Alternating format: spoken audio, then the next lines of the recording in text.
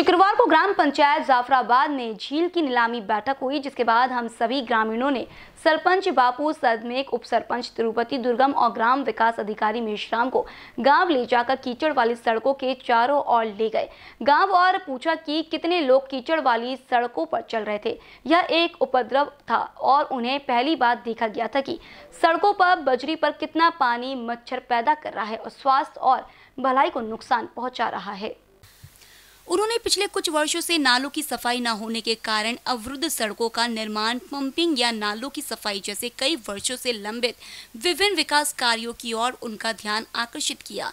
इसमें हम स्वयं ग्रामीण सुधीर मधुम दिगेला, आनंदराव दुर्गम, स्वामी दुर्गम, सिद्धार्थ बेदकी, सागर अरे, महेंद्र दुर्गम, नरेश गोपाल, बालाजी बोरकोटे, विजय दुर्गम, बंगारू सिद्धार्थ, मुदुम दिगेला, रवि बरसंडी, रवि बेदकी समय कोंडागुल्ला, वेंकट दुर्गम सत्यम सोडारी हरि प्रसाद मुदम दी गेला राहुल बेद की, दयाकर करसपाली और अन्य नागरिक उपस्थित थे। अहेरी से बीसीएन न्यूज़ के लिए आसिफ पठान की रिपोर्ट।